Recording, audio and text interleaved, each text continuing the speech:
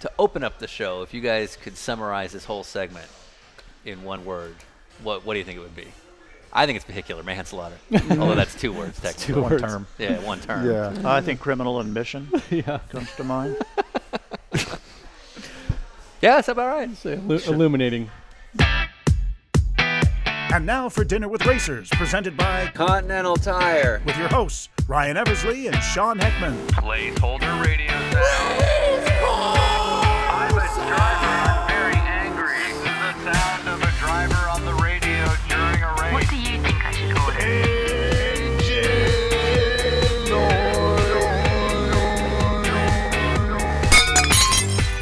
All right, welcome. Next installment of Dinner with Racers. I am Sean Heckman, I am Ryan Eversley. and uh, if you don't know who we are, Don't worry about it. Not a big deal. So uh, we are coming to you somewhere between Florida Atlanta as we head back to Ryan's home in Atlanta. Uh, so it's uh, October 31st, 2015, and we are just wrapping up a cross-country trip in uh, Ryan's one and only what vehicle? Acura MDX. And what are the tires on this? Continental. Huh? Continental tires. Yes, sir. So we're just finishing up here. We met up with a handful of people in racing that we thought were interesting, and we invited them all to dinner. So uh, we didn't have an agenda. There wasn't a structure. Half of them we didn't know, and it seemed like a good idea at the time. So, 8,000 miles later, 30 days. How many states? 20 states. And 27 meals with people, all so that you could turn around and tell us what we did wrong. And just criticize us. Yeah. So, anyway, uh, next on our list is actually a lunch with racers. It's uh, our good friend Spencer Pumpelly and his father Tom. The big sexy. So Spencer and Tom are a really cool dynamic. Uh, uh, we've known them both for for years. Uh, Tom Big Tom P. was a, a badass and sort of the most interesting man in the world before such a thing even existed. So Tom was a big deal in the 70s and 80s. He he started racing in Atlantics, ran against names like Gilles Villeneuve, went on to race sports cars in the 80s, and any big sports car driver you can name from that era. Chances are Tom ran against them. Uh, and during that time, he then started a business called uh, NTW, which is now NTB, one of the largest tire retail stores in the country. So he knows a lot about business. He knows the sport, loves the sport, and of course, birthed the great Spencer Pumpelly. The one and only. So Spencer, currently a, a big driver in uh, in the IMSA WeatherTech Sports Car Championship, uh, two-time winner of Daytona. Didn't win a third time in 2014. And so we just cover everything with these two. We cover everything from sort of that father-son dynamic that you can see in racing. Their uh, story between the two is very different between most fathers and sons that you see racing. Uh, what else happened, Ryan? You know, we uh, found out why Spencer's not allowed to borrow the family car. Uh, did you know Spencer Pumpelly may have killed a guy? And then we also ate at uh, the Raging Burrito in Decatur. I had a blackened tilapia burrito. It was amazing. and I had a chicken sandwich. Oh. Thanks once again to Continental Tire for making this happen. Let's hear it. Meow. All right, we're gonna start in five, four, three, two. So Spence, I'm flying down here the other day, and I, before the flight, I go to 7-Eleven and get this great big Italian sub. and so halfway through the flight, I get hungry and throw the thing in my mouth, and I'm chewing on it, and I'm thinking to myself, man, this is the weirdest. Anyway, I, I forgot to take the mic thing off, and the little uh, foam thing, Oh yeah. I chewed it right a off. little little mic condom. yeah, I, I probably almost swallowed it. What about when we're eating, making crunching noises? Nah, it's all good. I can Yeah. theoretically just don't do it while you're talking, and I'm good, Okay. You know. But some of that's good, you know. yeah, a little bit, just to add a little. Yeah. But why'd you choose this place, by the way? Um, this is a, it's a good lunch spot. It is a vegan identifier restaurant. Right. So I like to support uh, people that kind of support our little upstart project. Sure. And uh, I don't know. I mean, I figured that we could come in here on this side. It would be quiet. Just figured it worked. So. How hungover are you right now? yeah, Did I'm you out. celebrate all last night? We did actually. Took the Park Place guys out. We uh, went to Freedy, sat upstairs. We all had big pizzas and uh, then took them to Joystick because Sunday in Atlanta Oh, is just not the best night. You know, Yeah. Clermont's closed. There's no Meddlesome. There's all the things that we like to do aren't happening. So we ended up going to Joystick and uh, feeding the machine. I got 8,300 or 1,000 on Donkey Kong, which is a little below the record, but. You're playing Donkey Kong on the computer with the keys, and then getting a real old joystick that's Right. sloppy, and the buttons are sticky. You know, it's yeah, they've just made it too easy nowadays. It's like racing, you know, with traction control and everything. It's Driver rankings. exactly. We did. Uh, Sean, you probably don't know about joystick, but we did a Spencer's birthday at Joystick Bar this year, and it's basically like a really cool, not very big bar that has all old quarter actuated video games, arcade games. Oh, so it's a real So it's deal. like an arcade. Yeah, yeah, yeah. exactly. And uh, full bar, really good kitchen, and uh, they had like a full, you know, full spread and everything, and it was. I mean, it was so much fun. Jim Norman flew up for it, you know, so it was kind of funny. Like Anywhere Jim Norman goes is going right, to be it's a gonna good be a party. Yeah, it was just funny, like looking across the room and you see like Spencer's got his son Ryder there, and Ryder's like playing pinball, and then you look next to him and like Dr. Jim's like punching the pinball machine next to him, like trying to get you know extra score out of it. And like Ryder's going to look at this one day and be like, Dad, you had a keyboard. How lame. You used to look at a screen. and then he goes to school on a jetpack. Yep. Um, how long are you guys here, by the way? Because aren't you guys taking off? yeah, we're leaving uh, tomorrow. We're going to fly uh, November 640 X-ray up uh, to uh, Manassas and, and do the birthday party on Saturday, right? Mm-hmm. Okay. Right. The Temp- Big 7 0? Tom P will be 7-0, yeah. Jeez. Oh, no. Scares me. Now, are you, and you're still flying? Yeah, the FAA still gives me a uh, second class medical. It's a miracle, but they still pass me. Nice. Okay. And uh, you're physically doing the flight out to, to Virginia? Yeah, Spencer and I fly. We, Okay. we're, uh, I don't know how to fly an airplane, so yeah, he's, he's good with helicopters. to but fly a helicopter, but not he just gets in the way with the airplanes. So, Tom, what do you, you've got, because right now you, you fly airplanes. Do you still race at all? No. no. Okay, so that's all done. Yeah. Helicopters? It's old helicopter, but uh, I love that thing. Had 1,200 hours in it. It was a fabulous toy. Just a little too expensive for not using it much. Right. Sure. Did, didn't you use it to film for a movie or a couple movies? Yeah, we filmed uh, the National Treasure, the first That's one. That's right. Yeah. We did the uh, scenes over Washington D.C. and in fact, all the aerial scenes were shot in that helicopter.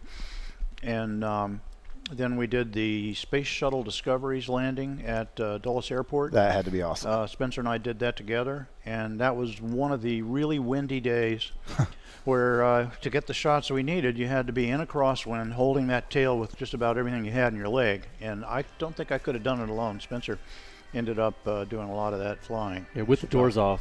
right. door- You know, Doors so the off. wind's coming through the cabin Sure, and sure. blowing the thing around Yeah. more than it would be. Intimidation it's level goes up a little bit. Yeah. Full of people, some woman with a camera literally hanging on a wire out Literally. the side of the thing. Literally. hanging out on the seatbelt, and yeah. she was pretty badass. I forget uh, Yeah, she was what cute. her name was. She was cute and she was badass. She didn't care. She just, you know, Getting it done. two thousand feet off the ground, just sitting there hovering, and she's hanging out over the skid with her, her video camera. Yeah, her famous last words were, "If I fall, I fall." yeah, there you go. pretty cool. There you go. And then, do you That's remember the uh, the flight we did when we went up to get the uh, the shots of the old airmail route? Yeah. That was cool too. The Smithsonian was doing an exhibit on the old airmail route. So I guess we went from New York to L.A. and they would do it in different legs. Sure. And so guys were telling us that of all the legs, even over the Rockies, the route through the Allegheny Mountains was the most dangerous. They lost 34 pilots in the 10 years that they Holy did it. crap. But a lot of that, uh, a lot of the pioneers of aviation, a lot of things that we still use today as far as navigation and weather predictions and things like that were invented during those times. So we got this guy whose dad, you know, some old guy, his dad used to fly that route and he had some maps and we took the Smithsonian photographer up there and tried to find some of the old landmarks that they were using on this old map and got a lot of photos and that was pretty neat. That was cool. Uh, it was a fun day.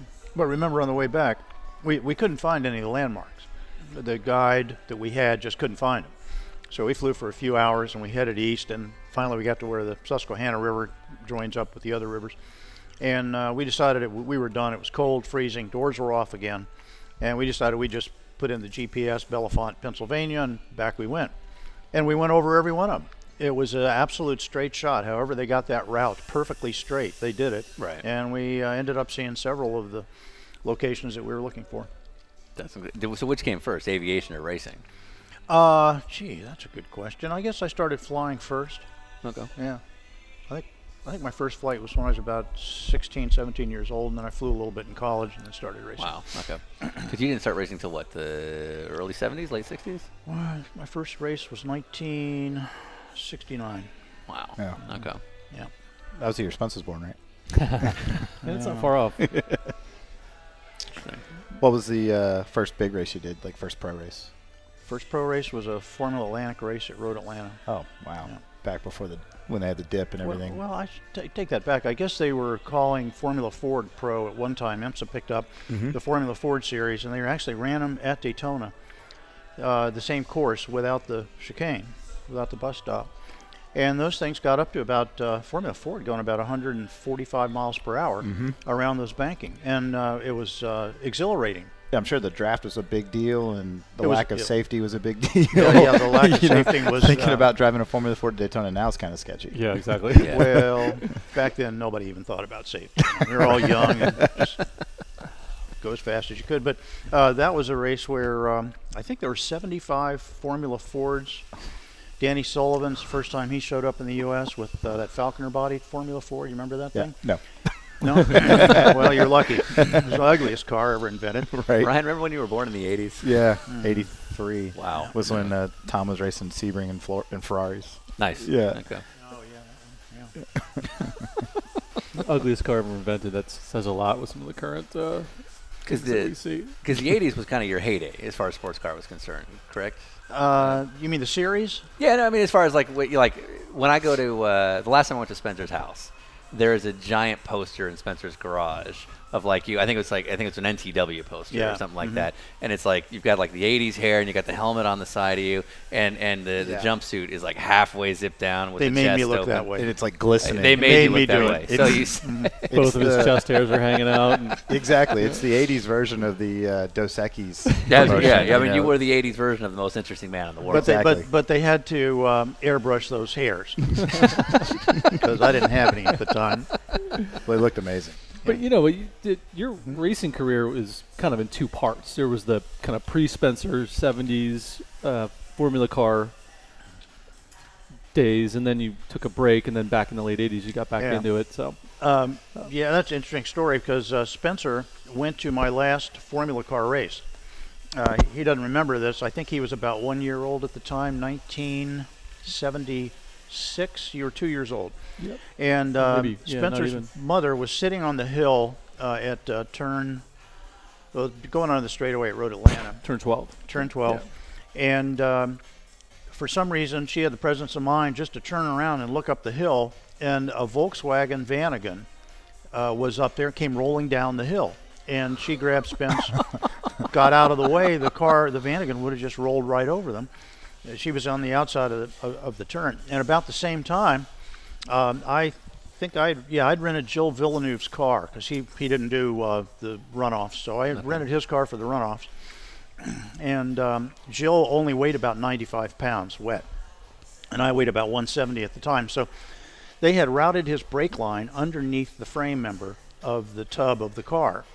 Of the back for the back brakes. So I went into turn five as fast as I could go, with um uh, who was it? I guess it was Bob, probably Bobby Rahal on my back, and um, I hit the brakes, and uh, the back brake line just burst, and I went flying down the hill. It had rained, and it was wet, and I hit the guardrail, and the car ended up flipping over in the woods, and I woke up with a battery on my lap, and that's the last time I was ever in a Formula car. and then I heard the story about he and his mother, and I said, "Man, this is We got to get out of a here. It's message done. here." Yeah. We got to get out of here. yeah. But then the addiction came back a couple of years later. right. Let's say, so did you take? So you took so between the open wheel and the sports car path, there was a couple of years in between. That was about uh, six, seven years, right? 80, Oh, wow. Yep. 81, I went back with the Ferrari thing at Daytona. So during that time, you focused on business. Yeah, uh, I did. Uh, that's when NTW really got its start and got Right. going, and that was full time. And NTW is kind of what, I mean, that's what I associate with uh, you with when it comes to the, the big level racing. Is that NTW because of the kind of the mutual success that you had fostered with that, that was able to transition you back into the into the big stuff. Yeah, I really never wanted to be in the tire business. I just needed a way to s- to uh, support my racing habit. Right. Right. So Pretty- uh, that seemed like a good way to do it. Yeah, exactly. just uh, grew So that tell me, because you know NTW is now uh, uh, NTB, correct? NTB, yeah. So tell, how did NTW start?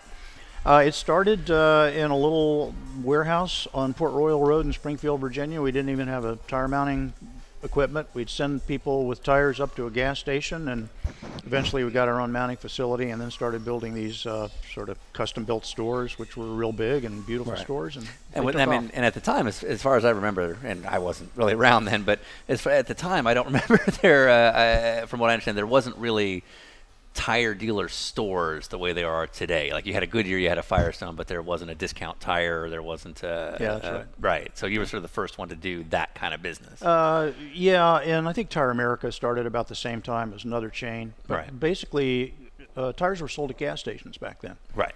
Uh, just how it happened. And or a Goodyear store if you wanted to pay a very high price. Goodyear. Back in those days, you'd pretty much pay a retail price for a tire, and now you know everybody gets like 30, 40 percent off. So Sure. Sure. It's changed a lot. That's off. Oh, I'd say uh, we started selling franchises. and We went to the tire convention in St. Louis and built an NTW tire store inside the convention center in two days. When Brick was and this? mortar, everything. When was this? Uh, gosh, probably about 1978ish. Okay. And uh, then we started uh, cookie cutting that particular store, and uh, I think we Thank you. ended up with, uh, well, i can't remember how many, but over 100 Yeah. uh, by the time I sold it to Sears. Component of Sears called uh, Western Auto. How long was that period? Uh, that was 17 years, I think. Uh, Oh. 18 years. Started in 71, sold it in 80, 88 or 89. And the way, I mean, Spencer and I probably talked about this. This was like five years ago when we talked about sort of the growth of NTW because I, you and I have never really talked about it. Um, but Spencer sort of described it as you literally would spend your year visiting every franchise and walking the grounds and not even telling them who you were, just sort of showing up and Oh, they all knew who I was, but I, I tried to see every store once a quarter. wow. And uh, I, I really think in business it still remains that if you put your eyes on it, uh, you'll see things you won't see from reports and right. Sure. other people's descriptions. Yeah, hands on for sure. Yeah. So, the car that I remember you as as a kid was definitely the uh, Mustang Probe because my dad was running GTP 962s and 935s, so I was always watching. I'm sure Spence was trackside as well. Um, we looked up a couple of guys you ran those cars with. Arie Luyendyk came to, came up, Pete Halsmer, and then uh, Jack Baldwin, who Spencer currently races against uh, when he does the uh, World Challenge stuff, and able to beat him this year at St. Pete. So it's kind of funny, two generations of uh, of Pumpellys racing against Jack, who's still out there doing it. Well, you guys Yeah. co-drove together. We what? Yeah, that's guys co-drove together. yeah, those are the Yeah. the number the names that came up that were really like, the- oh yeah, wow, yeah. Arie Luyendyk. Well, there was another cool. name in all But that. he never drove the Probe, Baldwin. I don't think he drove He drove the Corvette. the Corvette. Ah, that's right. Yeah. Yeah, Yeah. yeah. Uh, the uh, other guy you didn't didn't mention that drove the Probe was Bruce Jenner. Yeah. Uh, with Is that- Bruce at the time? So the other girl that drove Caitlyn Jenner. Kate, Caitlin. Is it- Caitlin now? Back then it was Bruce. I So- think, so I do think you go with- Say, yeah, no, I think I think the, the So- proper would be to say Bruce. Right. Posthumously. Okay, posthumous. Posthumous Correct. Bruce Jenner. Yeah. So when Bruce Jenner and Lyn St. James drove together at the Watkins Glen Six Hour, that was a You know what's That sad was is how much Bruce probably a year ago started looking like Lindsay James. amazing. that part's getting Do you mean out. amazing? Yeah. Yeah. you know, I, I have to stick up for Bruce. Um, Caitlin, Bruce, back in those days, was was an extremely nice guy. He That- was no, as no. cool as he could be. That is and still true. I just every virtually everybody that knew the guy loved him, and um, you know he's a national hero for his Yeah. his uh, sporting yeah, for efforts. sure. No, he drove uh, the Lamborghini Super Trofeo series I- two years ago for one of my clients, and no, he was actually super nice. I he, raced he it. was. I He was, raced and he was fast. At one point, he was fairly fast in the cars. Yeah. Um, but uh, I always liked having him as a co-driver. I think we were together, I don't know, six or eight races, and you know the attention of being Bruce's co-driver was fabulous because nobody knew who I was at the time. Sure, So it was good. It was all it'd be good like with Bruce. Frankie Muniz' teammate. Yeah. Sort of. Yeah, Sort of. Yeah, I actually raced against uh, Bruce and his son Burt, who still races quite a bit at uh, Kansas two years ago Yeah, in the yeah, Lamborghini yeah, series yeah. and sat next to him. And I'd met his son Burt the year prior at the finale, and he knows Lally through, uh, I think they did an off road truck race or something together. Mm-hmm. and so we struck up a conversation, and, and Burt's really cool. And then Bruce, now Caitlin, was, was really cool. And, um, and, and super friendly to everybody, you know, not Yeah. Hollywood at all. Like, just wanted to be one of the yeah. Just I want to say one of the guys, but clearly that wasn't the case. Well, no, I think he still likes being one of the guys. He Right. just chooses not to be one himself. Oh, fair enough. so okay. anyway, Yeah. but anyway, so so uh, uh, so throughout the '80s, you were sort of the the '80s sports car star as far as we look at it, and Yeah. then and then Spencer by this point, you know, late '80s Spencer's probably just preteen, Yeah. um, early teenage years. I was in junior high when we were going to all the races, and Yeah. I went to a bunch of those GTP races. I remember the first time I was at Lime Rock in the Glen, and Mm-hmm. um, you know certainly Daytona. Every year we would go to. Never got to Sebring in all those years, but um, you know got to uh, some of the street races. I remember going to Columbus and even out to Portland. Only time I was ever out in Portland was to watch him race. And that's when my brother almost killed himself on the ATV. We would to, to entertain ourselves. We would take the uh, ATV from the team. You know, I'm sure they needed Yeah, it to right, run yeah, tires or something, right. but we were off and running around, and Yep. they had a off-road motocross track in the middle. So we thought, oh, this would be a great idea. Uh, he he landed on a jump. He jumps it, and landed on another jump. As he went down, the jump came up and it kind of bounced him. He went into the woods and uh, through the trees, and he was covered in prickles, but he took it pretty pretty well. You know, he just brushed it off and off he went. But It's amazing how many stories you don't Yeah. hear at the time. I've never heard that one Never ever. told In Yeah. your 40s, everything changes. I, was, I have Yeah. a very similar story from when my dad ran the Panoz GT1 car. They were based at Road Atlanta, so they went testing one day, and we came up after school. My sister and I, my sister who is working with Magnus and other teams in the sports car racing paddock now, and uh, we're racing golf carts around. And one of the drivers was a guy named Doc Bundy, who you might have raced against. Oh, yeah, then. Doc. Mhm. Yeah. So Doc brought his uh, nephew out, and uh, I'm on one golf cart with my my middle sister, and and Doc's nephew's on the other one with my youngest sister, and they're going down this hill, and uh, the hill that goes underneath turn 10, you know, underneath the uh, chicane at Road Atlanta, and uh, the kid just like loops it somehow, and it starts barrel rolling down the track. He breaks his arm in like four places, and so I have to put him on the good golf cart to go back, and now I've got to drive the one that's like on three wheels and the roof's caved in back down to the paddock. So yeah, I uh, that that was a really embarrassing thing to be like, Dad, I don't know what happened. That's weird. yeah.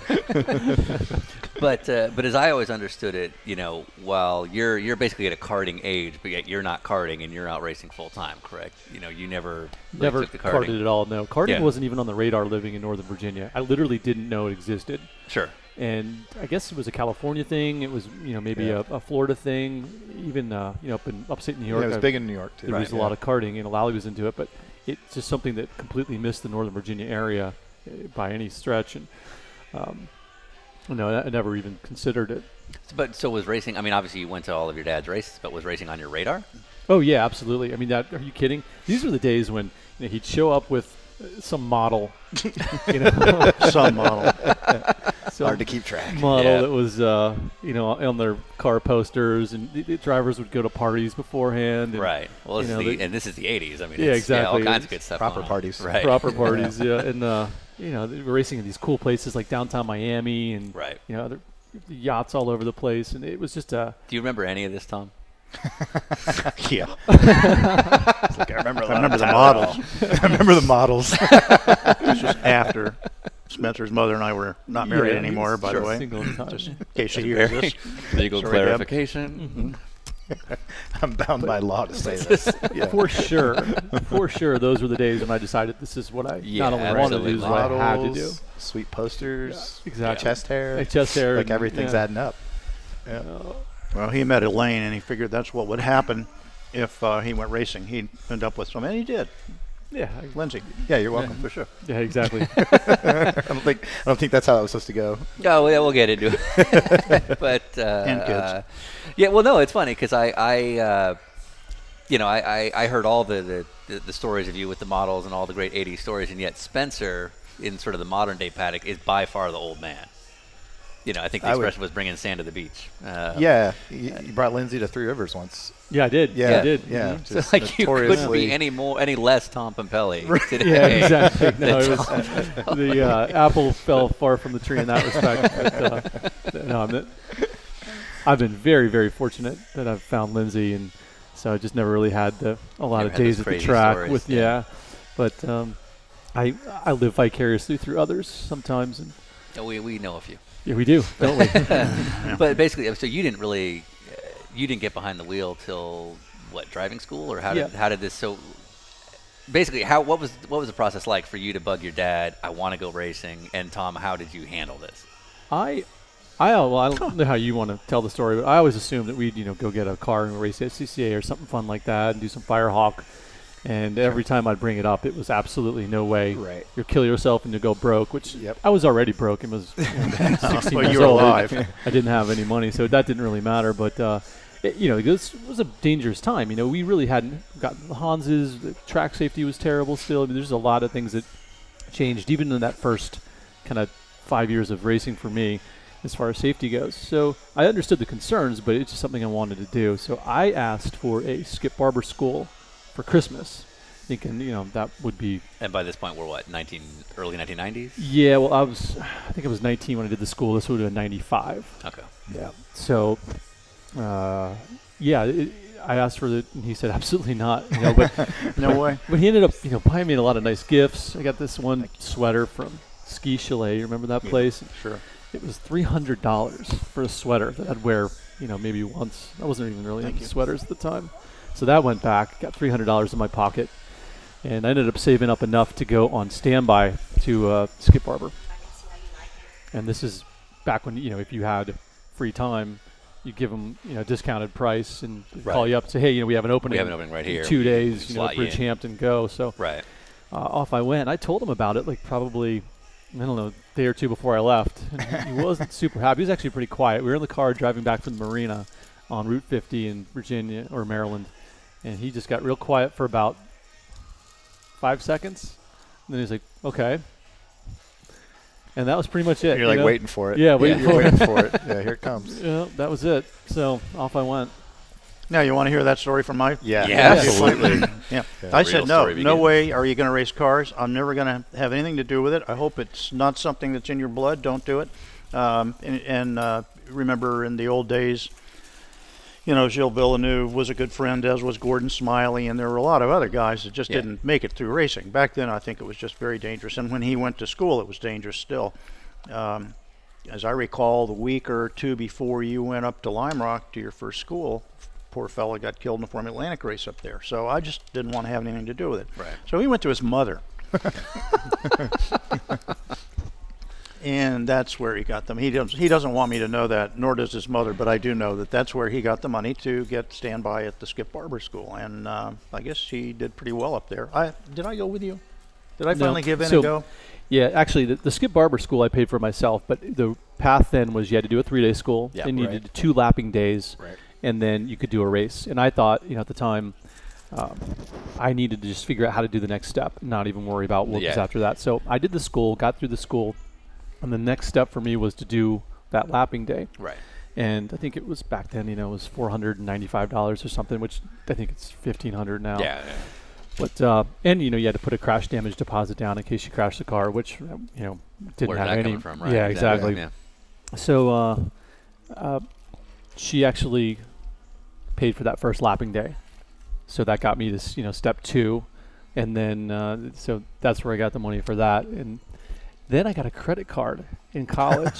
you know, you go to the, one of those welcome to campus things, and there's MBNA with you know the JMU credit card. You know, interest rate's only thirty eight percent. right. I didn't even know what that meant. So uh, I did lapping day number two to qualify via that credit card.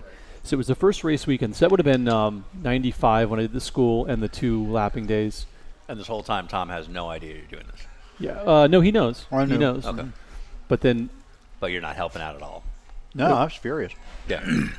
but the first race I did up at Lime Rock in, S- in Skip Barber car, he came. Mom, my mom came and he came. So they were both there. So, what was the next step from the Skip Barber racing? Because not that many years later, you were racing Porsches with Spencer Pumpelly Racing. How did that? How did you go from a Skip Barber school to a few years later a team with your own name on it? Well, I guess I did a couple of years of skip. I did two seasons, and uh, he helped me with the second season. You know, I did one season where the- first race I did, I did two more weekends that year, which is two races a weekend. So that's a total of six. And he helped me a lot with the second year. I think I paid for half, Right. and he paid for half. I was working for him anyway, so it was all his money. Just- you know, was it going What was the going uh, to me and then to Skip Barber? Was it going right to Skip Barber? You know, it didn't Yeah. matter. But uh, What? How did you convince him? Like, what was the what was the hump that you had to get past, or what was, did you go win a race or something? And suddenly he's like, okay, maybe this kid's not the worst. He- no, he's a little um, help. I think To go from furious to supporting you within a year is pretty uh, I- impressive. Nice move. Yeah, I think, Yeah. I think he thought if he didn't come, then it would be. yeah, He's realized I was going to go anyway, so he might as well come and see how it went, and uh, you know, be there to, to you know, visit me in the hospital if I if I needed it. And the longer it went, I think uh, you know, the more he realized I was serious about it. I keep he kept waiting for the phase to pass, and it never did. So I think once he realized this is what Spencer's going to do, uh, he definitely came around and was very supportive. Um, but up to that point, it was tough. Would you agree with that? Yeah. particularly when he was in the open wheel cars, because Yeah. you know my little experience with my last open wheel race led me to believe they were unsafe, which Sure. I still think. Sure. yeah, that's fair. So then, um, in college, I met a guy named Chris Mitchum, who we know. Still know to this day. Yep. Yeah. He's still involved in sports car racing. And he was doing SCC at the time, and I don't forget how we actually found each other, but uh, he- knew I was racing. I knew he was, and he invited me to come do a weekend down at Moroso, 24 hours in his Honda CRX, which is a front drive car. Team Honda. Yeah, Team Honda, right. Would have loved it. Uh, and so we did that, and Tom came down, and the Mitchums did a really good job with that car, the whole program. And they also were doing some work for Jack Lewis, who was based here in Atlanta, and Yep. Jack was racing in professional sports car racing at the time. Long time Porsche guy. Yep. And at this time, um, you know, I was probably in my early 20s, so it's been a couple years later. I'd done a couple races, and one of the guys at Skip Barber invited me to do that same 24 that Chris was crewing for Jack. So I go down to do that in a GT1 Camaro. So I'm going from a 110 horsepower, 1,000 pound Formula car and street tires that did 120 miles an hour. Next thing you know, I'm in an 850 horsepower, you know, Camaro that uh, did 185 probably in the bank. It was GT1 at the time. you know, it was prototype GT1, 2, and 3. So we were in the second class. Never driven slick tires before. never driven like straight cut gearbox. Uh, actually, I guess I had, but you know, racing clutch. I stalled the thing 12 times. No one ever said, right. "Hey, by the way, it's going to be a little different Yeah, than you the got to Skippy really car put and, your foot in, right? and your, your Isuzu Trooper that you drive. You know, it's it's okay to spin the tires taken off." And so I looked uh, like an idiot, and uh, I remember the windshield was so warped I could barely see through it. Right. A piece of Lexan with you know seven or eight little ripples in it. and Yeah.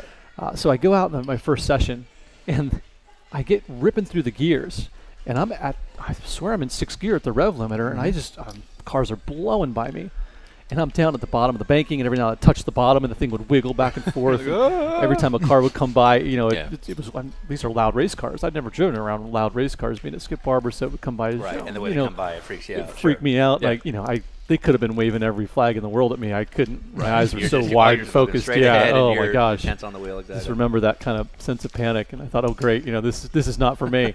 Um, Well, it turns out they put Tom the cheering that fact. exactly. they put the quick change rear end in backwards. Oh, nice. Oh, so that's shit. why you know. So once they fixed that, and I got some real laps in it, the thing was just a hunk of junk. But uh, you know, it, it got me out there. But at the time, it was the coolest thing ever because you're getting to drive something. Oh yeah, Yeah. You know, Yeah. probably dreamt about that thing at night. Yeah, exactly. It scared me. But, now uh, you look back and you're like, oh, what was I thinking? Yeah, I was still pretty scared throughout, but I survived, you know, one or two stints. I think the car ran for seven hours that year. right. Anyway, but I've gotten off track. Um, I met the Mitchums Mhm. uh, at, you know, through professional sports car racing and through going to school at JMU, and we did that one race together. And they told me that Jack's car was for sale, and Tom said, you know, why don't why don't we look into getting that car and maybe having a go at this? And at the time, I think, you know, we had about enough budget to do almost a full season of the Skip Barber Pro Series, which is the next logical step. Right, right. And at the end of that, I had absolutely nothing. Mhm. You know, so you do the Skippy thing, you don't win, the money's gone, and that's it. You're on your And own. it was his suggestion. Let's see if we can get Jack Lewis's car Right. and maybe you know have a go at this and let the Mitchums run it. And it was like a 993. It was a Porsche? 993 body car, but it was a tube, tube frame, frame, yeah. 1974 Wow. chassis. Um, Wow. it still had the original roof and floor, swing axle, uh, 3.6 liter. I think it was a 3.8. We we ran it as a 3.6, but no one was going to attack it anyway. It didn't How matter. Yeah. it was a Never closed wheel that. car. and it was a closed wheel cart. And uh, you know, Chris and I's deal was that we would find rental income, and Right. then if there was a third driver, you know, Chris would drive and I would drive always, and we did a, a season together with. Uh, without having to put any money into it because we got a little bit of rental income. So once we made the first investment, uh, you know, it got us through our first Daytona, did a Sebring, uh, did a couple races. But one of the things was that when the car would break, Chris always wanted to send it back to Jack Lewis, which would cost money. And Tom kept saying, you know, it's a gearbox. They're all the same. Let's just take the thing apart and fix it. So uh, one day, kind of without Chris's knowledge, we took the car and ripped the gearbox out and fixed the thing.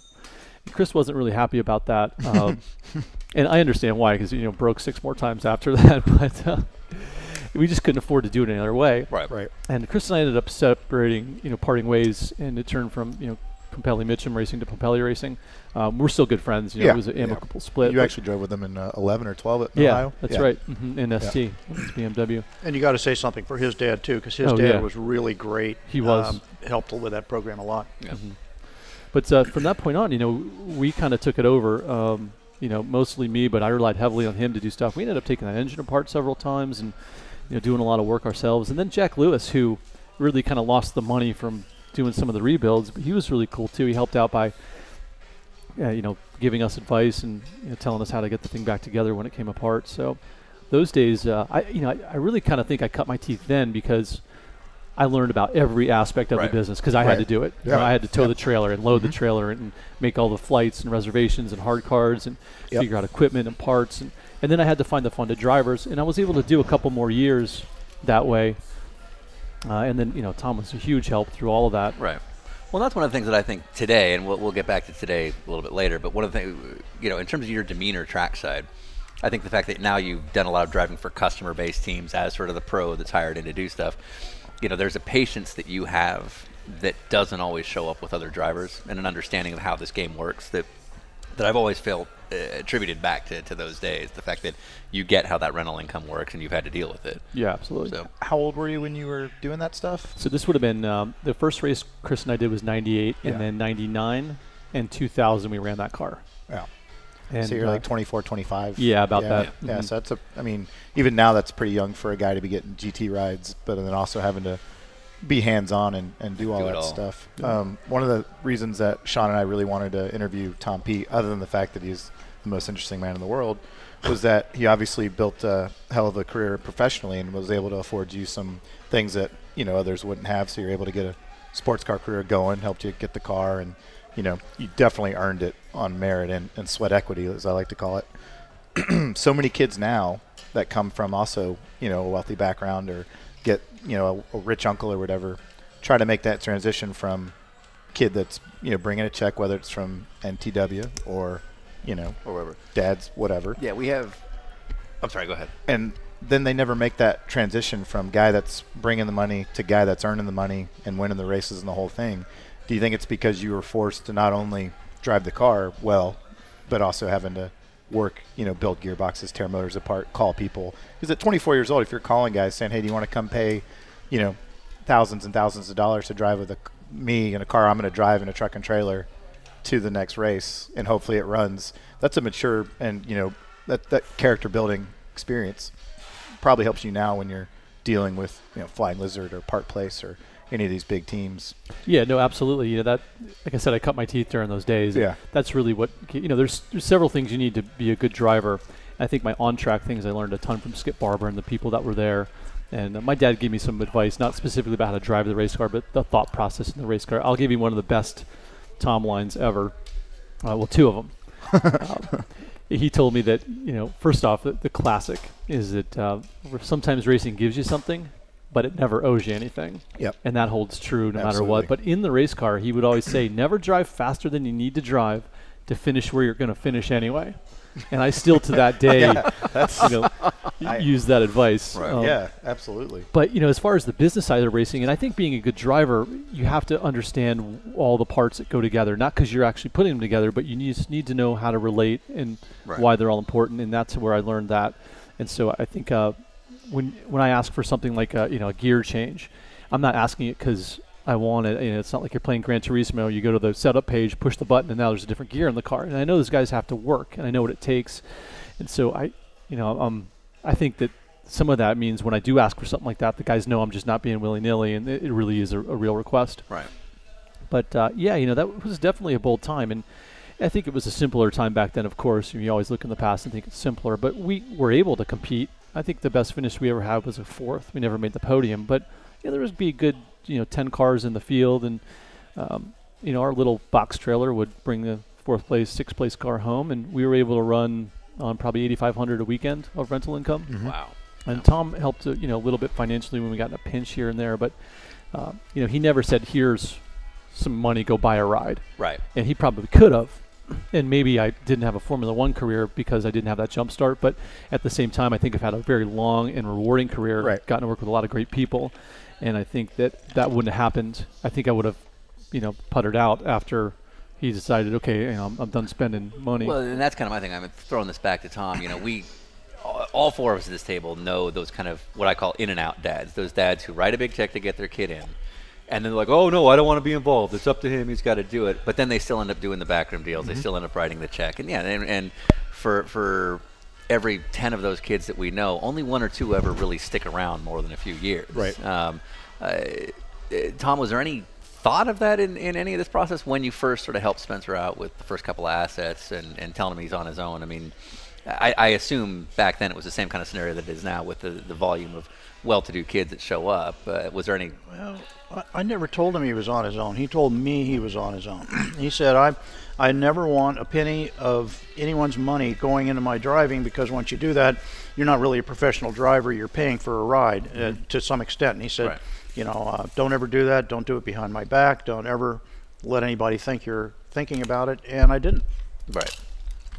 Well, and uh, part of that, and I'd say uh, uh, again, a thing that we don't always see is is despite growing up with, with decent means, you've always been fairly grounded, Spencer, in my opinion. That that I wouldn't speak to you and think that you came, you know, with, with anything more than Ryan or I did, and um, and I think that's part of it. But I mean, was that was that the family culture that you guys grew up in, or, or where do you think that came from?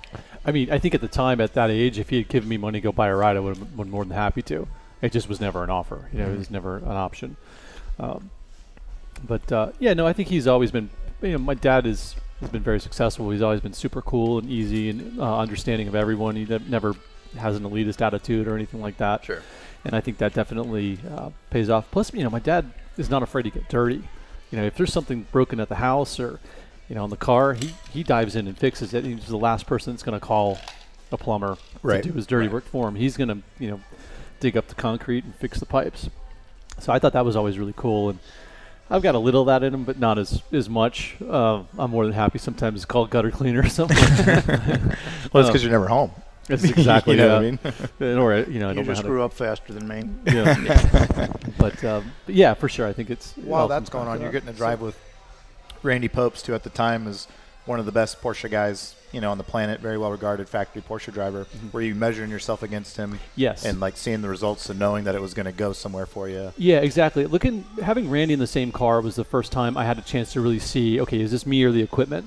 And uh, he was quicker than I was, uh, especially a lot of those early races, and it, I mean, it drove me nuts. I would look at data hours and hours and try to figure out exactly how.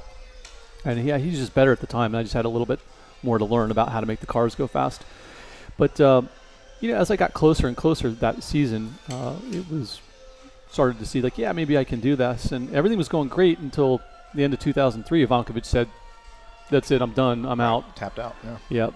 And so uh, the next year, I was once again kind of without a ride, and so I went to Daytona, and I was there on foot for the test days, walking around, talking to everyone, and it, let me tell you, the worst feeling in the world as a racer is to be walking around the paddock with your helmet in hand, just trying to find something to drive. And I have so much respect for the guys I see that do it now because there's not a lot of people that do anymore. Right. And you just feel so emasculated, feel so low. You don't even have a place to sit other than your car. You know, you can't go and even hang out anywhere. It, it's it's kind of what it must feel like to be homeless. You know, in, in some small way, Right. just complete uh, isolation. And You're not invited to the party and all your friends yeah, are. there's a Yeah. big party going on. Your friends are there, and you're not invited. And so here again, I'm in the situation where I've spent so many years committed to trying to do this. I've actually now had some success. We got some podiums uh, at Zip. We won one race at Trois-Rivières in 2001, and now I'm out of a ride. Well, it's tough too because I mean, to my knowledge, you haven't had any major wins or anything at this point. At this right? point, no. You Yeah, just have right. one- You're one win and that's it, you Guy know. got a handful of top fives. Yeah, I thought I'd proven to enough guys there that I could do it, but or just you know the, the music had stopped and there weren't any open seats. So I come back for the race at Daytona that same year, 2004, and I'm walking through the paddock again. And Peter Sarita is a guy some people in the paddock will know, but maybe not all the listeners. He's like an insurance guy. Like, He sells right? race car insurance. Yes, A really nice guy, and for whatever reason, I happened to say to him, "Yeah, I'm looking for a ride. I, I need something, and I don't have anything." And so he said, "I'll keep my ears open," which everybody says. Sure. Yeah. So I look around. There's absolutely nothing. I even get in Larry Schumacher's Porsche and do a couple laps in it, and then you know, then doesn't materialize into anything. So I'm driving. I'm literally driving out of the tunnel to leave, and I decide I'm going to stop at Smoothie King to get a smoothie as opposed to getting on the highway and heading back north. So I, as I'm pulling into Smoothie King, I get a phone call from Peter. Hey, there's somebody here. They need a driver. Can you come? Come fast. So I turn around, get in it, and it's uh, Mike Pickett with Race Prep Motorsports. Yep. They have Randy Pobst signed up to drive with Mike. Pobst is under contract with Audi. He can run the Porsche. That's no problem. But there's some fine print that they brought up that he can't race against an Audi, and there was an Audi in the series at the time. So he's out. He can't do it, and they don't know me from anyone. And they put me in the car. Randy's like, "Yeah, he wouldn't be a bad idea." You know, later, see, I got to go. So here I am at Daytona. I have to make one lap in the test or the practice to be official, and these guys are still putting the car together. It's a thrash. So I get there, I agree to do it, and they put me in the car. 15 minutes left in practice. I got to get out to take the lap, and I'm going through the paddock, and this is the old Daytona paddock, and there are people everywhere, Right. and I'm I'm just running this wall of people, and I've never been more amped up to try to get out on track, and I ended up actually hitting a guy. What? I hit a guy I didn't know with that. the Wow. car. Yeah, uh, like legitimately hit his leg. What's the? Uh, I'm not. What's the statute of limitations on? Uh, well? It's expired. yeah. yeah, Yeah. but So you just slowed down enough to like get him out from under the car and kept but going. I was I was that amped up. I mean, Wow. it was not an accident. Didn't drag him very far. right. This Yeah. was- he, he slowed down to kick him off. This was not an accident. I used the bumper to move him out of my way to get on the track. Oh, so you did it on purpose. No, I don't think there's any statute on that one. I mean, I didn't think it would hurt him, and it didn't hurt him. But at the same time, I go out, I get my lap, and then all I could think of, oh my gosh, I'm going to go to jail.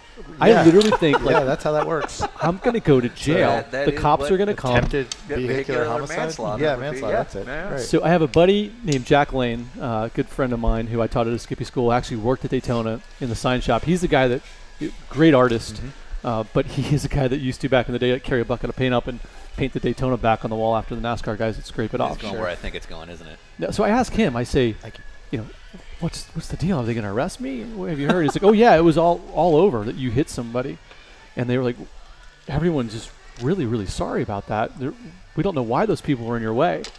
and somehow it turns out that like I'm the victim in this whole thing, which is You're like good because Yeah. I was really concerned. yeah. I thought for sure I was. Maybe going they to put the other guy in jail. Not. Yeah. it- it- I like that it wasn't. Is the guy okay? Yeah. It's am Yeah. I going to jail? Well, I knew he was okay. I didn't hit him that hard, but you know, just I'm thinking like i- vehicular attempted manslaughter or something. So anyway, um, the next day we get out in the race. Mike Pickett starts. I think we go a lap down. Um, what is this like 2003 or something? This is 04. okay. And Good again, year. my, my career is done. Right. I get this last minute break. And I you're, mean, God, you're like 29 at this point. yeah, kind of. Yeah. Yeah. 04. So Yeah. yeah, I'm going to be turning 30 that Just year. about to hit 30, right?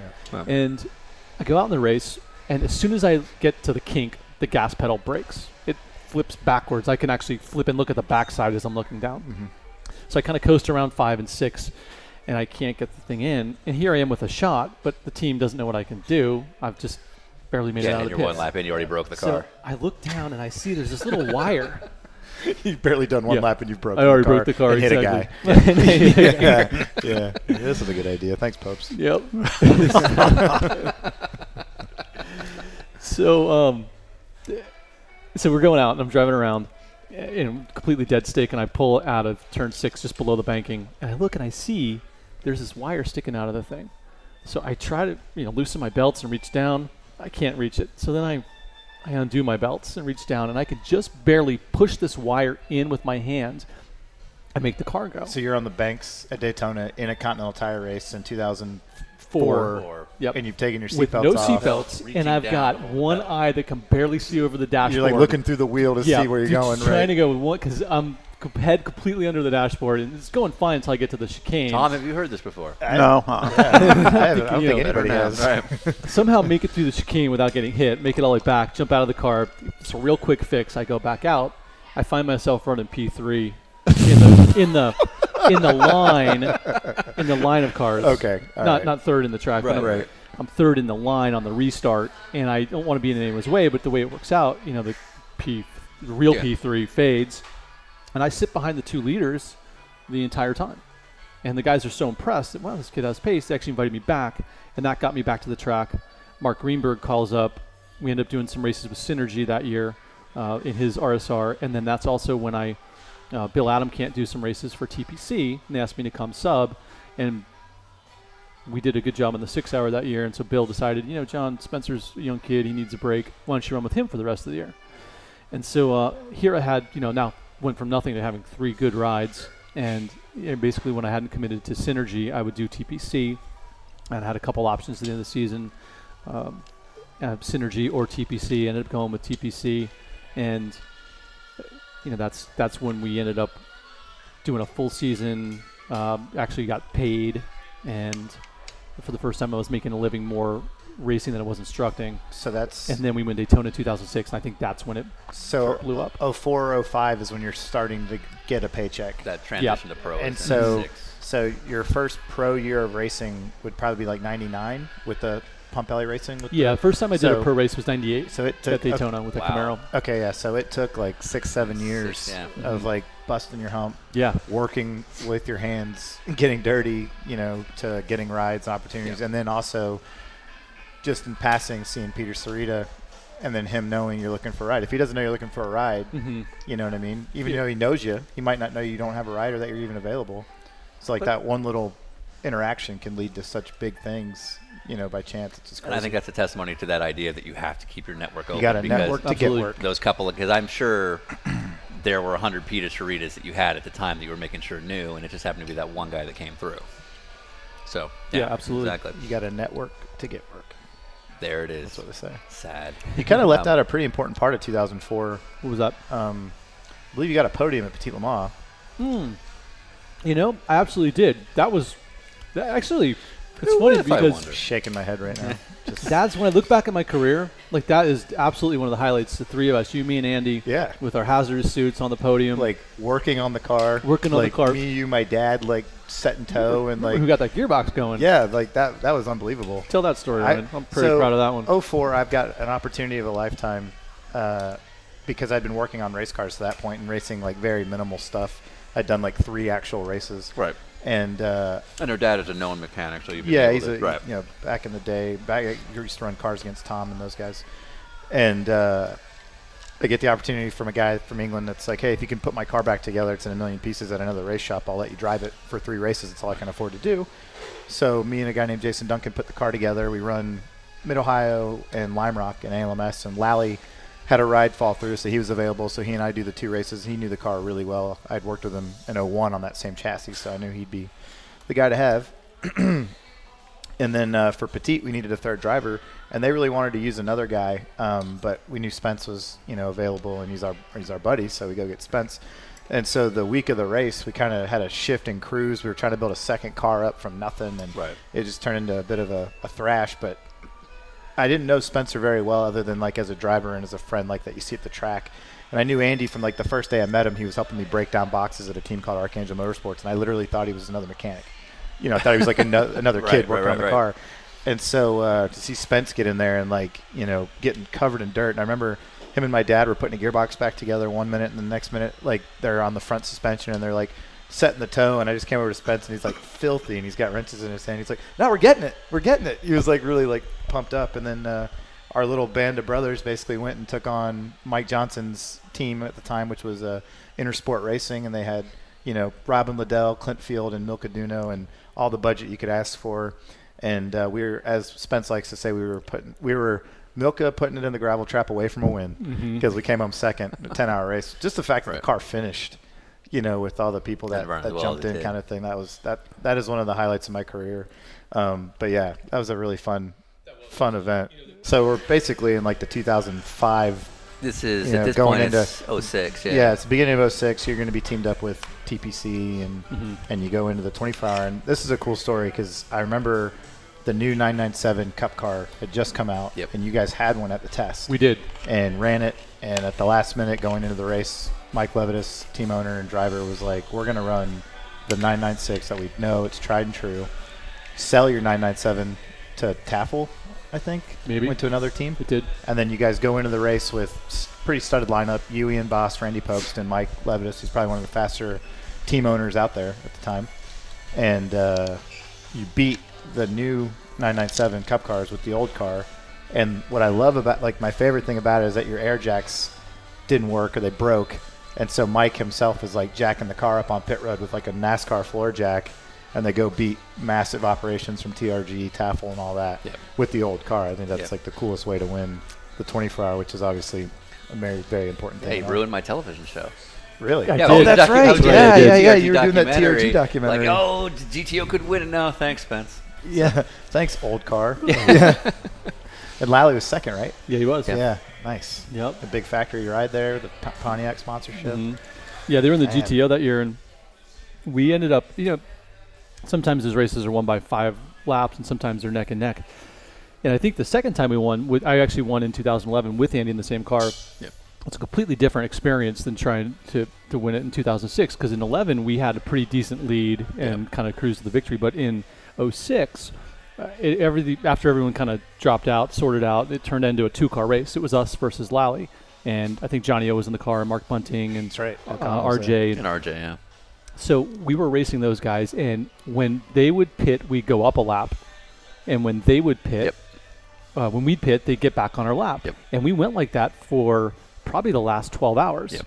And so we couldn't ever let up because, I mean, if if they're on our lap and we go yellow, they're right on our tail. And we had a long, long green run there. We never actually Yep. got yellow, but we were literally going lap for lap for 12 hours. And Randy and I, I think, you know, once got close to the morning, did all the heavy lifting, and we would do back-to-back double stints. And those are some of the toughest stints I can ever remember because the pressure Right. to try to win that 24. And for me, who hadn't done it at the time, was so big. And I just remember, you know, almost like getting nervous to the point of throwing up before I jumped in the car. And then even every shift I did, I'd have to think about, you know, you, you had an H pattern back then. You could Yeah. easily Yeah. go from, you know, what you think is fourth to fifth and find fourth to third, and Sure. the thing is over. Now, are the nerves that you want to win or are the nerves that you don't want to be the guy to throw it away? Yes. the answer is yes. Yeah, you know, you and Yeah. So uh, we ended up going back and forth like that, literally like getting their lap time every time, and we're battling for the tenth. You know, no such thing as backing off in that endurance race. I mean, every Yeah. curve, Yep. it was qualifiers after qualifiers, and finally, with about 40 minutes to go, the GTO broke their gearbox and only had Yeah. fifth. That's Yep. right. Yeah, and then we the time. cruised home, Yeah. kind of. so it's true story. We're driving around, and on the lap to take the white, Randy's like, I smell something electrical burning. Something's going on here. So we take the white. He drives all the way around, makes it no problem. We win the race. The serpentine belt, which is five little grooves on one Yep. big belt, was down to two. Uh, yeah. Whoa. So another lap or two, and then That's we'd it. lose the water pump. Yep. You know, we'd lose everything, Melt- melted lost everything everything. So Wow. So that's that's 2006. You win the 24 hour biggest race of your you know career, biggest win at that point, biggest anything you know, and uh, that that puts you on the on the list of guys that if I have a team and if two drivers or three drivers and I need one more guy to go get to hire, you're now on that list, which is like you know almost kind of sets you for a long time. You know, you can call. Let's say tomorrow you don't have a ride for next season you can call every team on the list and say, "Hey, I've won this thing now two or three times," and you're going to get a call back. Whereas you could be a guy that went and ran the fastest lap, you know, for two hours one time at Daytona, but you're not getting the call because you threw it off the road. You, you know, you're not a solidified person yet. Yeah, I definitely think that it uh, changed things after that win. You know, a, a lot of times I just don't think winning a big race, especially Daytona, can do a lot for your career because you do get lost in the shuffle. You do kind of tend to look at it as a team event and how was the effort. But for whatever reason, I think that really helped me out a lot career-wise, and it got I did start getting phone calls. Like people were actually literally calling me, kind of like I thought they would be doing all along. It never happened. but, uh, Well, I'd also argue the driver lineup, as far as getting lost in the shuffle, makes it a big difference. So it's like if there's a four-driver lineup, but especially in those days, you know, it's a little harder now because it seems like of a four-driver lineup, three of them are usually really good. Exactly. Um, but in those days, you could get away with maybe only two of them Yep. being Yep. the good drivers. And in that case, it was, you know, uh, it was you and Randy, and and and I, I would imagine that was probably a big part of it. Whereas if you'd had that same feat today, it might have been a little bit more difficult. Yeah, but that definitely changed things, and I think from that point, you know, now I'd been in the sports car paddock for a while. I knew all, you know, the Bucklers and the Tafels and the Cole Scroghams and all the people that would later go on to drive for. Yeah. And uh, and now I had the results to kind of say, you know, I know I've been Yep. doing this for a while and I appear to be pretty good at it, but Yeah. now here are some actual results. And uh, And I remember after Daytona, you know, it, I remember you guys still had the entry in Mexico because you had the points lead, but it didn't seem like Mhm. the team was really committed to doing the season, and so you're kind of back out on, uh, looking for a ride, weren't you? Well, we actually got through the season, and Mike was actually really good at honoring kind of the agreement that we had. Even if we didn't go racing, he took care of me, and he was always a great guy like that. But John Littlechild decided he wasn't going to be racing anymore, and he was kind of the guy that was bringing me to TPC. And so, yeah, once again, I found myself at a crossroads. And at the end of that season in 2006, Yep. uh, that's when Andy and Marc Bunting were going for the championship leading into the nine hour race at Miller. And so they needed a third guy. And Andy said, How about Spence? So Andy always calls me Spence, even though my name is Spencer. You're Spence. Get over it. I know, I know. so uh, I, you know, talked to Buckler, and Buckler, oh my gosh, he probably called me every day for the three weeks leading up to that event just to remind me of how important it was that I not screw it Yeah, up. because I remember Sounds out of character. Weird. I remember Andy pitching you to to Kevin multiple times. He's like, meh, Mhm. meh, meh, and then you go and drive for him at Miller and Yep. Yeah. do an awesome job, like Yep. you know, like we all knew you would. Yeah, we won the race. You, and then you end up driving for TRG for what God, five three or years or years. something. Five more years Five. after yeah, that. five more years. So after the guy was like, nope, nope, no way. You're kind of like the guy they used when Andy moved on to the NASCAR stuff. You became, Mhm. you know, the Andy replacement, which is a really big shoes to fill, and obviously you did a great job with that as well. It's tough to get into the politics of it, but kind of fast forwarding a couple years later to Daytona 2014. Um, tell me about that process of you won and then you didn't, and where's the watch, and what? Tell me about that. So that was a that was definitely one of those the WTF weekends. You know, I thought we had great pace in Right. the uh, Whole in new the Audi. back with lizards, Back with car. Lizards, first time at 24. You know, with that team for me, and we have a new car, and everything in testing suggests you know we're going to be competitive, but we get in the race and we are absolutely lightning fast. I remember being giddy. Usually after two hours stint, I'm ready to get out of the car, but I was having so much fun. You know, you got a shot. Yeah, Yeah. we have a shot. Great team, and uh, you know it works out well. We, we kind of front load uh, some of our other drivers. We're never really in contention until the morning hours, and next thing you know, you know we, we're we're battling for the lead. And I remember I had a good battle with uh, I think it might have been Townsend Bell for to take the lead, and uh, surprisingly, he didn't hit me as I passed him. Careful. I'm gonna get that in writing. He's real also quick. not listening. I'm, gonna, not worried I'm gonna it. jot that down. I don't, I'm gonna have to fact check that. Yeah, that's because that's standard operating procedure, no matter what. But um, Not bitter. Yeah, and uh, and then we, we I forget what. Ha- oh, you know what happened was we got unlucky in that we were about to pit to do the final driver change to put Markus in, and we got a yellow. So now we have to pit in a closed pit because we're out of gas, and that cycles us way back. So Markus does a great job, and he's running the Ferrari back down. We've already taken the lead, but now we have to do it again. And in the final laps, it probably three to go. Markus took a look inside in the bus stop. He had the other car fair and square. As we went left, the guy gave us room. Yeah. I forget who was in the car at the time. Uh, the Italian guy, actually. That was uh, Pier Guidi or whatever. yeah, Was it maybe. Pier Guidi? I thought it was. Okay, yeah. I could be I wrong. think it was something else. Um, I don't know. But Anyway, Winkelhock is in it, Joe yeah. Ferrari.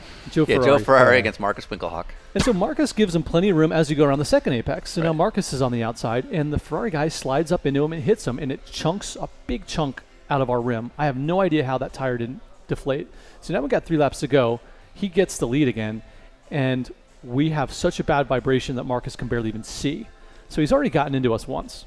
And then on the final lap, the Ferrari slides wide coming out of the, the hairpin. We all remember what happened. Yeah. And But there some was listeners no might not. yeah, there was no contact in the kink, but the Ferrari who was on the inside and you know half a car width back definitely moved out into all the lane that Markus needed for them to get through there Side by too side. wide. Yeah. Now a lot of people say you can't go th- too wide through the kink, That's and that's absolute crap. Yeah. Yeah, you can go too wide anywhere. The racetrack's fine. You just have to have two drivers that are willing to go too wide. And just because it's the last lap, just because it's a big race, it doesn't change the way the rules should be applied. I 100% agree with that statement. I hear this all the time. Well, it was for the win. It was for the last lap. But safety standards don't change. Walls don't get softer. No, you know absolutely what I mean? not. Fire doesn't get cooler. And there's nothing in the You rule book that says this do- does not apply on the last yeah, lap. Exactly. You know, so um, they, so they, they end up uh, they don't hit us, but they move us off the road. And I'm pretty much sure Markus is just looking, you know, out, out his left side window and driving off of his fender, you know, off the right. Ferrari's fender, and that takes him off the road. So we end up barely even finishing second. Um, and as we're coming to take the checker, that's when we get the call that we'd won the race. And my first thought was, know, the guys were so excited in our pit box. Uh, but my first thought is, yeah, I just don't like this. This isn't It's not Yeah, what it's I not wanted. want it. No. Yeah. And so even if we get the win, it, it's not what we want. And then um, we start uh, you know, doing the interview. You can watch me on the TV interview if you find that footage. You can tell I'm just not that excited. Right. And I'm, I'm happy for the team and the guys, but Sure. again, just not that into it. And so we take the podium pictures. I feel a little hollow on the podium, but um, at the same time, yeah, you know, they Yeah. did move us off the road. And I think if I were in charge, that's what I would have done. So fast forward a couple hours later, and I get a call. I'm in the hotel room, already three, four Jack and Diets into it, and it's Seth, or actually Andy texts me like WTF. Huh? Right. La- Yeah, right. Lally's a king I of doing the the text. the weird cryptic Yeah. I text was that you have with no Lally, idea. and I can't remember who told us, and we were both like, "Who's gonna, who's Wait. gonna text Spence?" So Andy finds out through a, a release or something before Seth is even known to call you. Well, I He guess he finds out two through the grapevine, we found yeah. out Yeah. through like someone behind the scenes. Uh, so it was like, "Oh, did you hear what's about to happen?" kind of thing. And so then finally Seth calls and like, yeah, for sure, you know, we're we're taking the win away, and uh, we, you know we ended up finishing second. And at that point, I already known, but uh, it was just kind of disappointing because. So first off, let me give you my opinion on how that happened and, and what was the right call. The right call to me was made, and here's why: they shouldn't have penalized the Ferrari because there were no clearly written rules in place to define who should have done what in that situation. They have a very poorly, or did have a very poorly worded, vague rule, and they hadn't been enforcing it at all the entire weekend. So it, there's no reason for them to suddenly start enforcing it now. Sure. So if I'm in charge, I have very, very clearly defined rules. People say there's racing incidents. If I'm in charge, absolutely not. There basically, if you're too wide, you have to act like it. Period. And that rule wasn't in place. Some vaguely worried about right of way or whatever. So you can't enforce a rule you don't have. They should have had it. They didn't have it. So they, therefore, they made the right call. Um, and then they kind of corrected it. Now that Bo's in charge, Yeah. it's much more clearly defined Yeah. but um, they shouldn't. They have the biggest race in the world, you know, in sports car, at least in this country, and uh, it comes down to the last issue. They should have immediately said it's under review. Yeah. Don't. Please hold for results. Right. Yeah. They made such a quick decision that it, it was almost like they wanted uh, to send a message or something. I don't know. It was just weird Yeah. that they would Yeah. let something that was so important happen so quickly, and then then then you can sort it out, and then the, the right guys can go up on the podium. I mean, I feel bad for uh, you know Jeff Segal has been trying for a long time to win Daytona. He finally gets his, his chance to win, and he doesn't get to go up on the podium and do the picture and everything. And Right. it's Right. kind of and then at the same time, w- here we are. And even though I shouldn't, I almost feel guilty for I can't even look at pictures of me on the podium now because I feel like we're trying to take credit for something we didn't do. Yeah. Yeah. Even I though we were doing what we we're told, I still kind of feel a little guilt, i- as dumb as that sounds. Mm-hmm. Absolutely. So I don't think it was fair to us. Um, they did let us keep the watches. Uh, I gave mine to my brother. It's not a watch I can really wear, but you know, um, I That's not true very happily has his engraved in the whole thing. yeah yeah no for sure. You know, it's just I felt bad for Tim. I felt bad for all our guys. It just it didn't seem like it was handled very well, and that was kind of the start of some pretty rough decision making from IMSA. Yeah. Yeah. But I have to say, after 2015, Yep. a complete turnaround. Yep. The series is doing really great now, uh, top to bottom, inside and out, what the fans can see and what they can't. Uh, much, much more professional and, and doing sure. things right. So, Spencer celebrated his 40th birthday, and and you know I'd argue 2015 was a really really good year, winning as Porsche driver, the whole thing. So, you know, 25 years ago, you didn't want to ever see Spencer get in a race car. He's clearly can make a living at it, and, and has a pretty good home life, and, and is, you know, seems to be in for the long haul. What um, if you could look back at 25 years ago to now? Uh, do you think you made the right call trying to keep him out? I don't have any idea. I don't know. It'll it'll depend on how it all ends up. If it's uh, you know a successful long career that takes him into his retirement ages and he's in racing to some extent, maybe not as a driver. Uh, yeah, I mean it would be a great uh, thing that he got into racing. You know, he might have uh, might have been a stockbroker or you know president of uh, International Monetary Fund or. You know, maybe uh, he got Bernanke's job instead of uh, Janet. Oh, anyway, uh, could have could have been a little different. it could be living in your on. basement Yeah. too. Yeah. So, uh, Yeah. yeah, exactly. Yep. Could be homeless. Mm, true. So Spence, you uh, you have two kids now. Yes. Did you always know you were gonna have kids, or is that always- something that you weren't sure about? I always assumed you know, someday I would. Yeah. and I always, when Lindsay and I got married, you know, we we assumed we would, but I always assumed that would be later. Right. You know, and as later came and went, it would still always be later.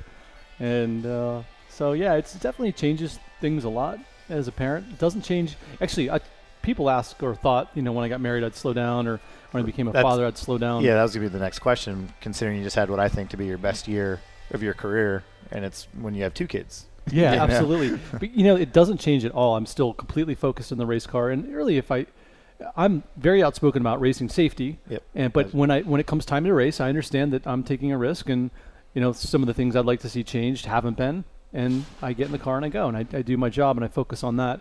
I will tell you though, um, 2014 at Le Mans last year in the Ferrari, we started getting a really really soft brake pedal, and it was a situation where the car wasn't safe to drive, but we needed to keep going till our next stop.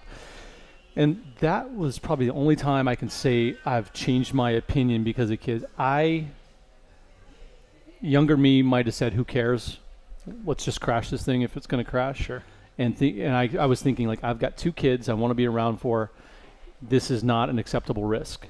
Yeah. And so, um, but that was with a broken car. You know, I was trying to do something that shouldn't have been done. Right. If it was running normal, you wouldn't even thought about it. Absolutely not. Yeah. And I would argue at your age, you're supposed to be sort of at the other end of your career, right? You know, you're 40 years old, and, and for some guys, you know, there's young guys coming up all the time.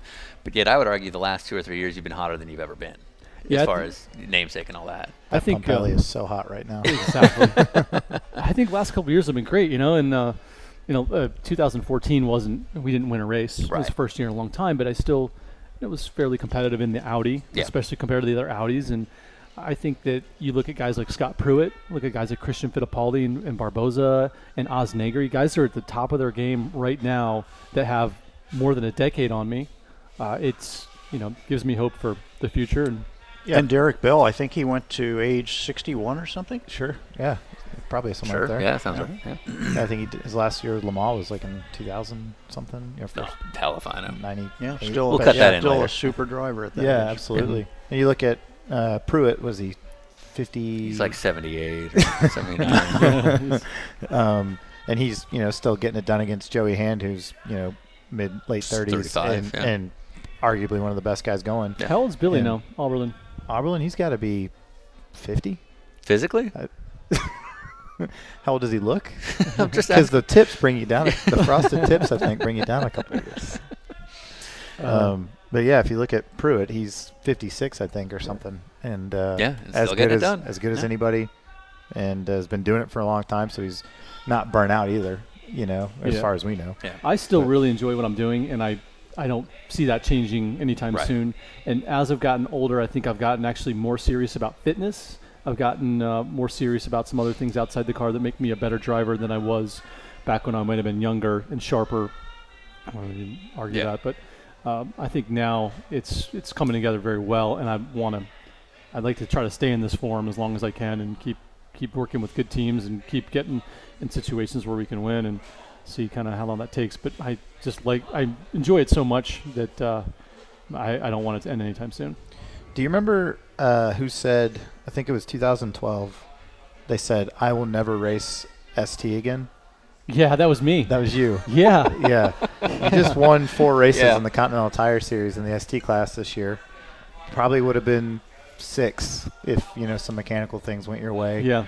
Uh, that would have been the most wins by anybody in ST, maybe even Continental Yeah, I mean, we, uh, GS, you know, either class in a season.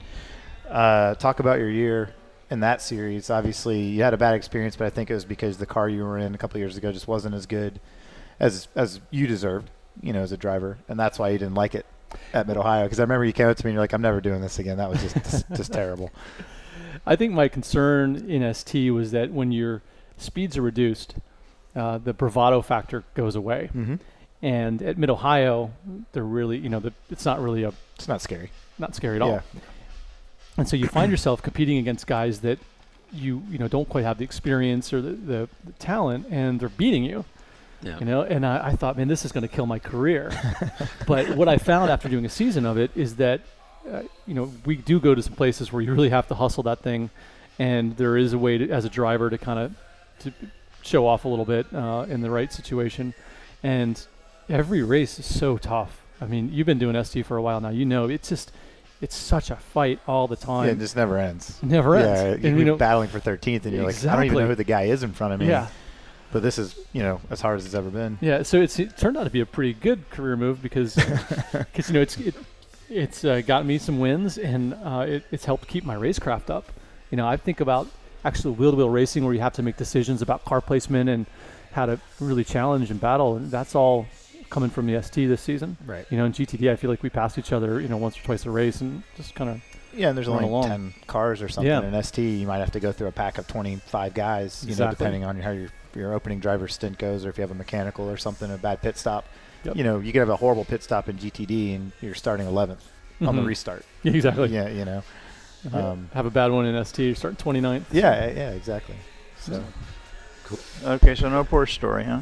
No, you can you can tell if you Yes. Can I? Yeah. Can I? yeah, yeah. Oh, so good. just Yeah, a little backstory. But Now these two showed up this morning, Yeah, we were, we were kind of doing a little debrief just- on here's how it's going to go And and, the Porsche and, and first and- thing Tom P said was, "Can I tell the Porsche story?"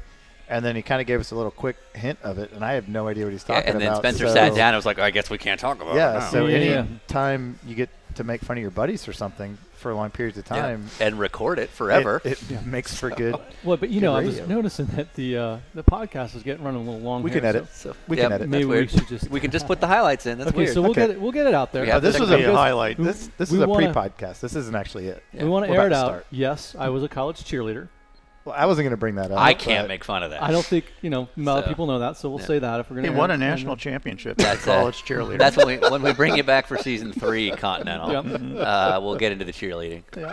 And uh, You won a national championship, guys. what else is? Was that like what you had to tell the guys at the bar?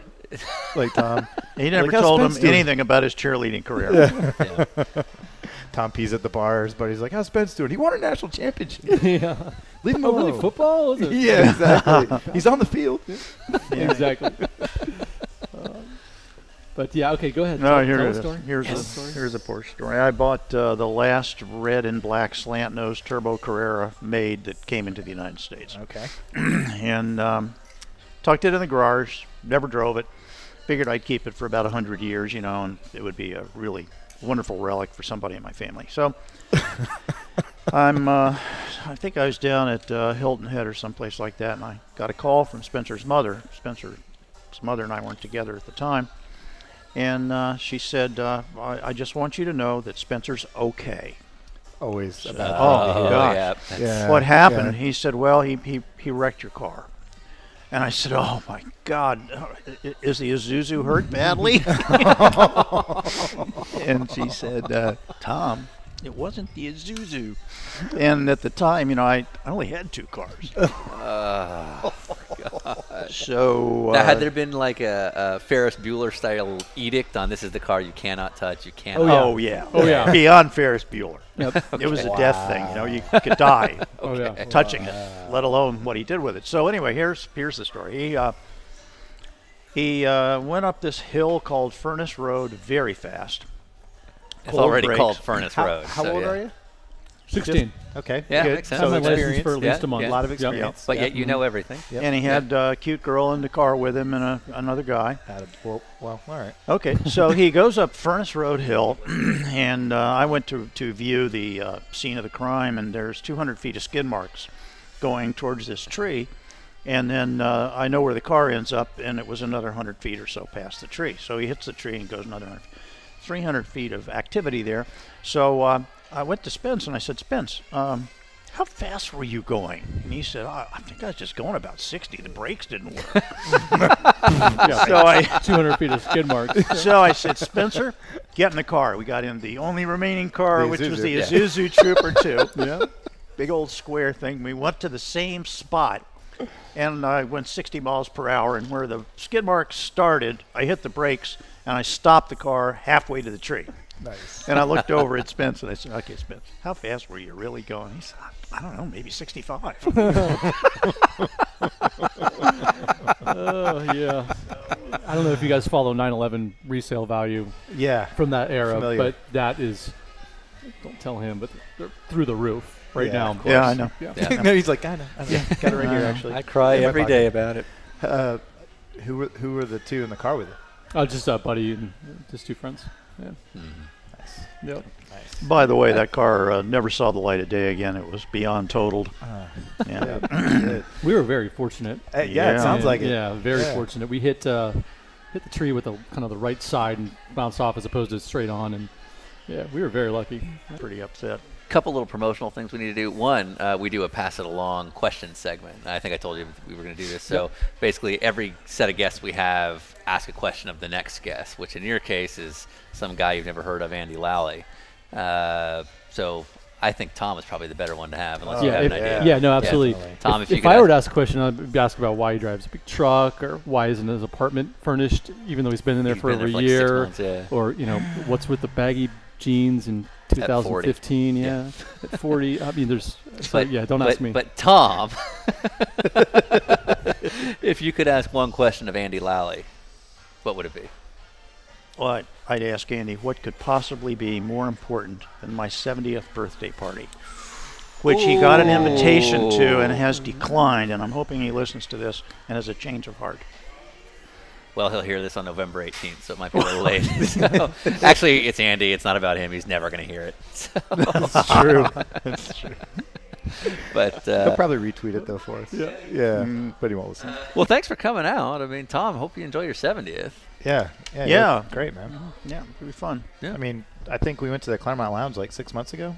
Together. it was three over a year ago. Was that a year ago? It was over a okay, year ago. Okay, so Mhm. you know, 69 years old, hanging out at the Clermont Yeah. Lounge, doing okay. Yeah. Yeah, I, I'll take that. Absolutely. That was uh, really fun. Great. Well, uh, thanks to our sponsors, Continental Yeah, Tire. thanks for Continental. and They got Acura. the uh, Continental's got the check. Yeah. Meow, meow, meow, meow, meow. I'm finished. And that was Spencer and Tom Pumpelly. Always good to catch up with them.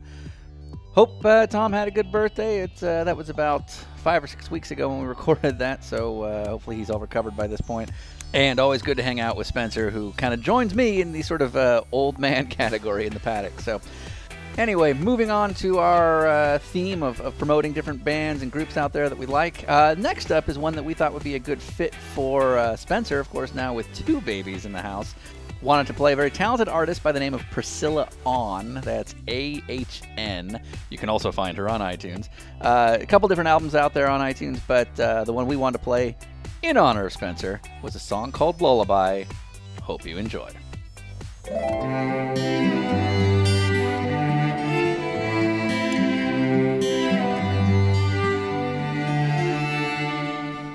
Here's a lullaby for anyone who wants to fly from their hometown where people drown and where the townies die. This old library has 30 books and one dictionary, but that's okay. No one reads anyway, they all watch TV. So here's your lullaby.